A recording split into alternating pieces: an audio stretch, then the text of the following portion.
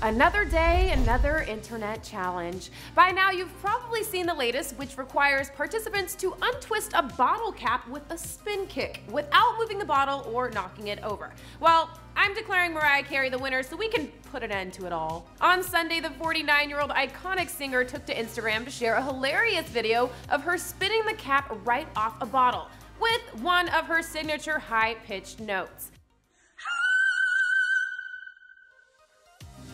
Spin kick? I don't know her. Mariah's stunt was a hit with her millions of IG followers, with ex-husband Nick Cannon commenting hilarious, while Rita Ora wrote, you win hands down. But Mariah isn't the only artist who's attempted the challenge.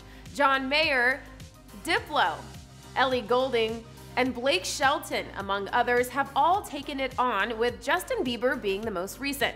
And it looks like the Biebs still wants to beat Tom Cruise at something. After previously claiming his MMA dare to the actor was just a joke, on Sunday, Justin re upped the one sided rivalry with a Cruise aimed bottle cap challenge post to Instagram. Right before his flawless spin kick, a shirtless JB says this could be Tom Cruise's head.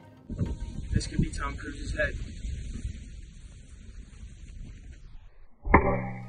I'm gonna go ahead and guess Tom won't be responding to this one either, Justin, but keep trying.